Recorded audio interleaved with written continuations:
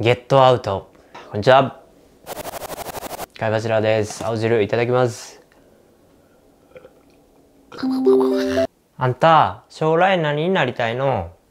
エンペラー。さあ、そういうわけで、ゲットアウトですね。今日はね、えっていう映画ね。コメントのリクエストも多かったので、改めて紹介していこうかなと。ぜひね、気になった方、映画の本編見てみてください。とりあえず、あらすじ話すと、アメリカ・ニューヨークに住む写真家のクリス・ワシントンという男がいるんですよね。26歳。で、アフリカ系アメリカ人ですね。で、恋人のローズという女性は白人女性なんですけど、週末に彼女の親に挨拶に行くんですよね。で、えークリスにはとっても心配事があります。それは自分がね、黒人なんで、その相手方のね、両親が嫌がらないかなっていう心配なわけですね。なあなあ、ちょっと俺が黒人であるってことは両親には先に話してんの？ってローズに言うんですけど、ローズは、いや言ってないわよ。言う必要なんかある？って言うの。何を今時そんな差別なんかするわけないでしょうと。もしオバマに3期目があったら絶対にうちの親は投票してるわよと。だから心配しないでという感じでなだめるわけ。ああ、そうなん？つってチューチューチューチューじゃあ行こうか。ブイーンという感じなんですけど彼女の運転で、えー親のね元まで向かうわけですよ。その間クリスはタバコをペッて吸おうとするわけですね。吸おうとしたら彼女が「ちょっとタバコやめて」っつってポイって捨てるわけですよ。その道中で鹿がさ急に道路をバーって横断してきてあーってバーンって跳ねちゃうんですよ。でで警官に連絡してしたら警察がウィースって来るわけですよ。何何があったんですか？いや動物跳ねちゃいましてみたいな話をしててちょっと身分証を見せてくださいって彼女のも確認してで続いてあちょっと彼の彼のもあの身分証を見せてくださいっていうわけ。でえなんで？彼は運転してない。私が運転してたのって言うんですけど警察はいや警官にはどいくついかなる時も身分証を提示求める権利があるんだ。ファファファとか言って。でクリスはいやそんな怒んないでいいからってはい身分証どうぞって渡すわけです。でもローズはやっぱ怒ったもん。なんで？運転してないのにって。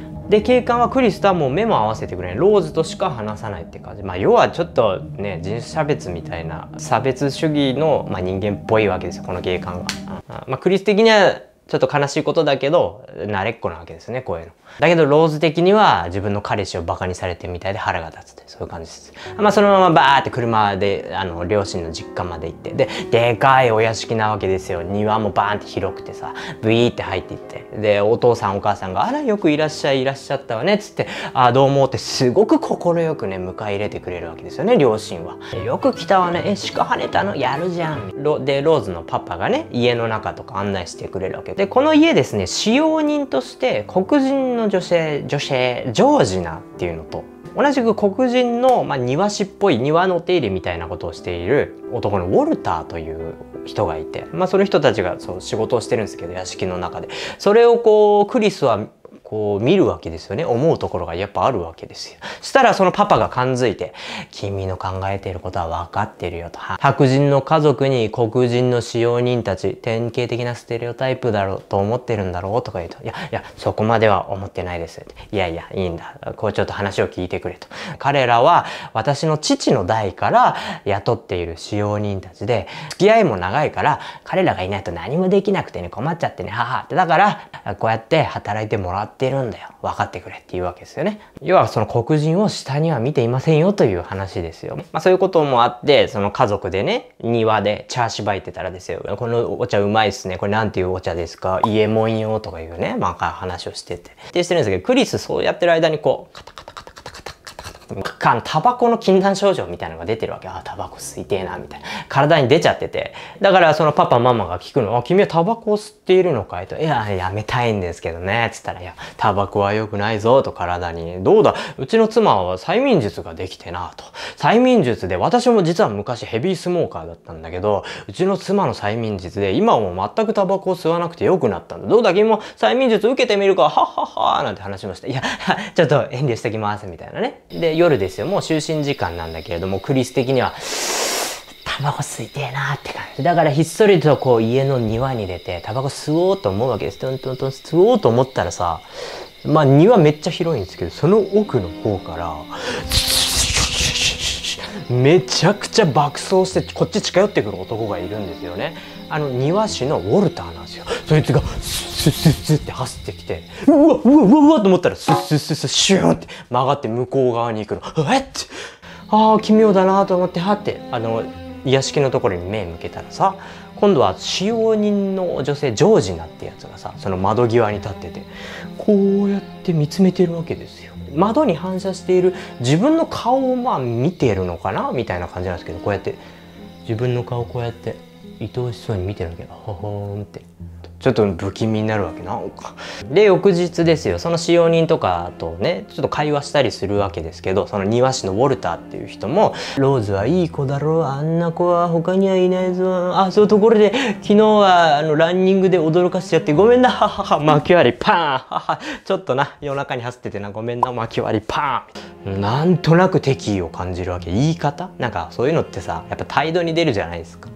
で次の日はこの家のねだからおじいさんさん、えーと、パパのお父さんですよだから。が、まあ、亡くなってまあなんていうんだろう送るパーティーみたいなのをやってるわけですよね。だから、えー、近隣住民のその付き合いのある人たちがみんなブワーって集まってパーティーをするんですけど。で、まあ、全員白人ばかりなんですよ。だからクリス的には正直ちょっと居心地悪いんですよね。疎外感っていうか「こんにちは」ってクリスですってローズのまあと彼氏ですみたいな話をするんですけどその来客たちはねすごい体つきね。あそこも黒人はでかいんでしょ？とかね君は何かスポーツをやってたかね？ゴルフはするかね？とか。今はもうホワイトではなくブラックの時代だ。ブラックが羨ましいよ。ははは。なんかすごく歓迎されている言葉遣いではあるんだけどなんだろうなその人種の違いを強調してくるような言葉遣いというかさ。うん、その上でなんかすごく好奇の視線を向けられるわけですよねクリス。気持ち悪い注目の浴び方をしているわけですよ、はあ疲れた。なってこうパーティー見てるとさ一人だけそのパーティーに黒人がいることを発見するわけ。うわ仲間じゃんと思って「ヘイブラザー」っつって話しかけてさ「やっと仲間と巡り合えよ」と言ったよって言うんですけどその男はさ「どうも」なんかすごい距離感感じるわけ。え？なんとなしにその黒人の男スマホカメラで、まあ、なんとなしに隠し撮りするんでパシャってそしたらその時にスマホのカメラさあのフラッシュ焚いちゃってさ間違えてパーってなんかそのパシャってフラッシュが焚かれた瞬間にその黒人の男はさ固まってえって目かっぴらいてしたらもう鼻血ジャーって出てきてえっと思ったら「出ていけお前出ていけ!」ってとっつかみに来るわけです出ていけゲラウゲラウでそれクリスちょっとこう頭を冷やしにさ、まあ、散歩に行くわけですよ。でそのクリスが散歩行って家離れてる間パーティーの参加者たちはそのお庭でなんかビンゴ大会みたいなのやってるんですよね。司会者みたいなのはパパがやってるわけです。このビンゴ大会おかしいんですよねまた。もう声も出さずに「うんうん」とかやって。でパパもなんかこんな指さしてこんな「うん」みたいなやってて。で横にでけえ額縁があるんだけどそこにクリスの写真飾ってあるんですよね。一体この家の人たちに何をしているのか。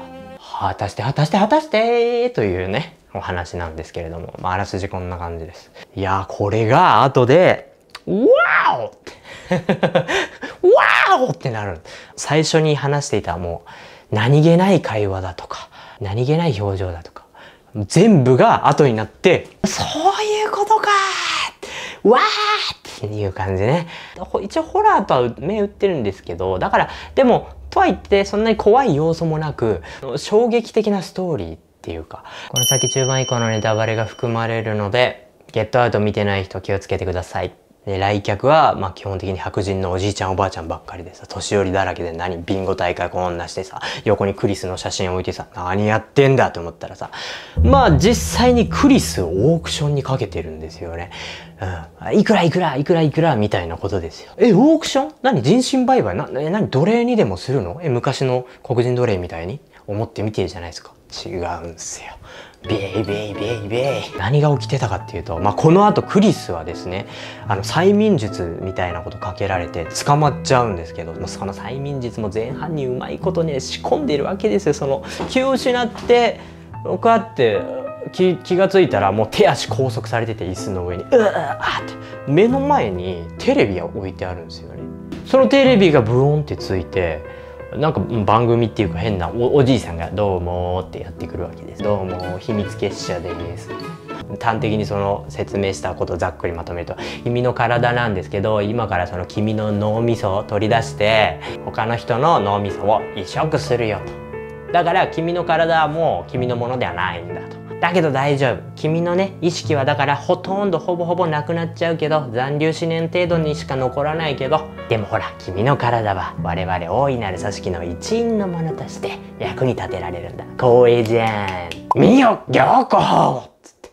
言うわけです。要は今までその家に来てたパーティーに来てたおじいちゃんおばあちゃんたちはクリスのことを品定めしてたんですよね。この体がわしのものになるのか私のものになるのかと、うん、脳を移植してこのパーティーに来た人たちってみんな身体能力の高い黒人に憧れてる白人の人たちが出席してた。その老人たち。ね今の自分たちの体はもう老いぼれたもうそんな歩くのにも杖つかなきゃいけない面倒くさいって体だけどもう若い黒人の体に脳みそを移植すればイエーイ夜もハッスルハッスル。見えなかった目も見え見えるようになる。うえっ老いぼれた肉体を捨てて新しい若々しい体に乗り換える乗り換えてまた新しい人生を楽しく生きようみたいなやばい人たちの集まりだったわけですよ。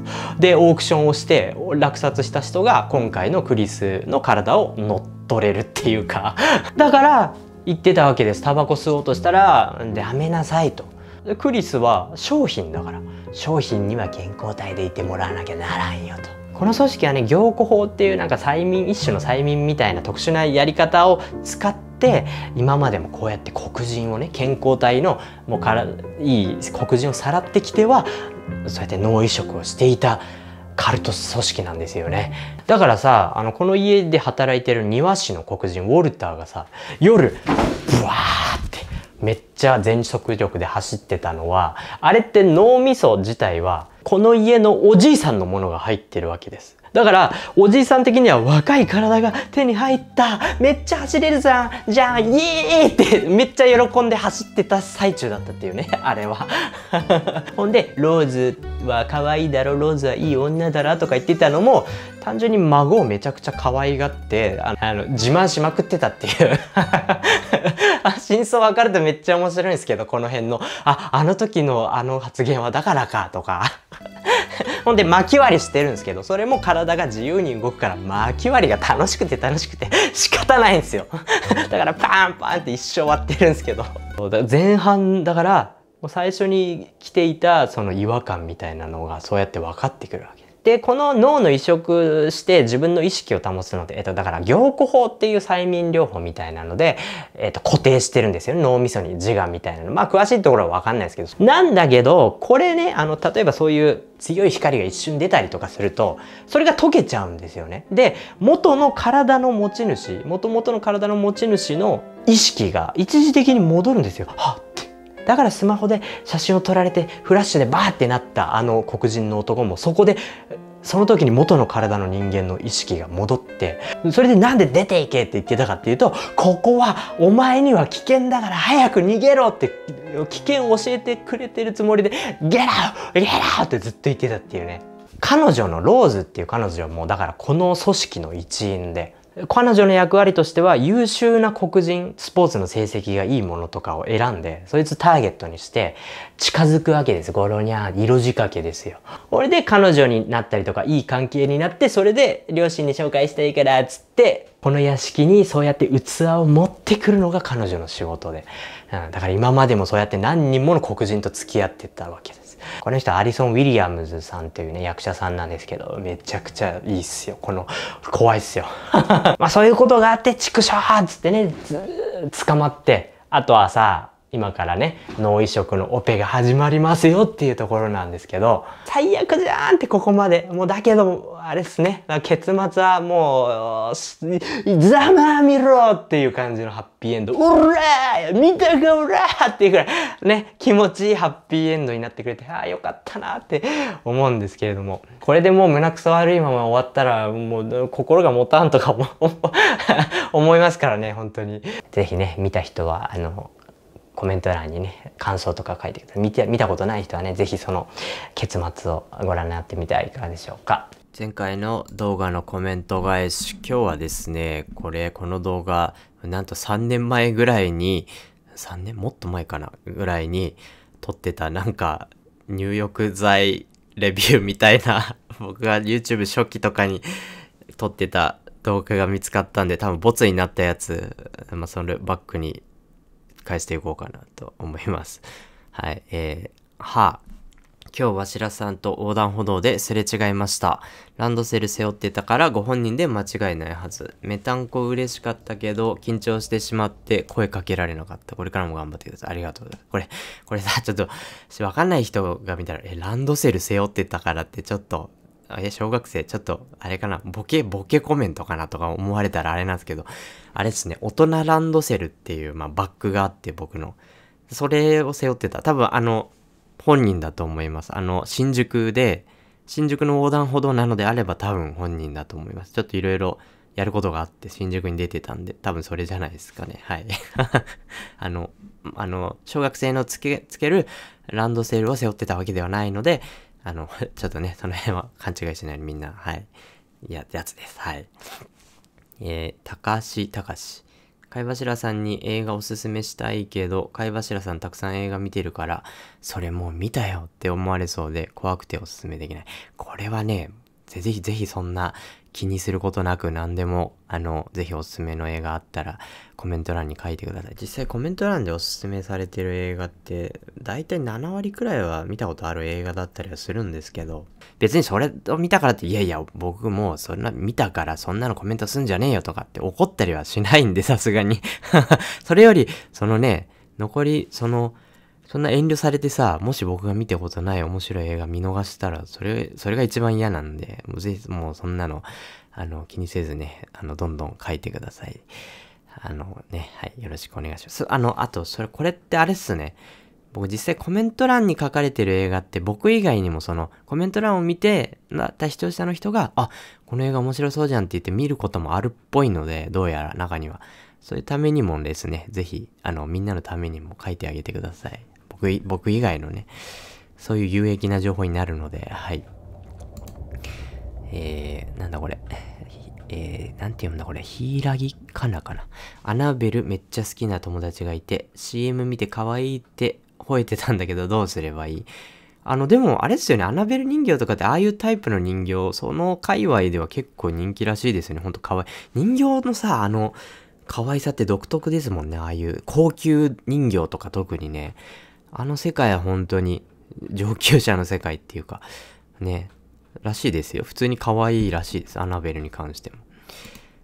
続いて、鈴見さ。昔ばあちゃんの家に行った時に家の敷地内にある使われてない井戸を覗いたら、日本人形が捨てられててめっちゃビビったの思い出した。これ怖いですね。なんで捨ててたんだろう井戸の中に。それはもう、あれかな水が入ってない井戸の中ってことかなね何の人だばあちゃんに聞いてみてください。これ気になるんで。怖いよ。えー、草薙京。燃えるぜ。何でもやはやら、何でもはやらない、何でもや、やってください。何でもやらなくていいんですか？ぜひね、座ってるだけでお金が入ってくるお仕事、えー、お待ちしております。はいいや。よろしく。はい。バイバイ。さよなら。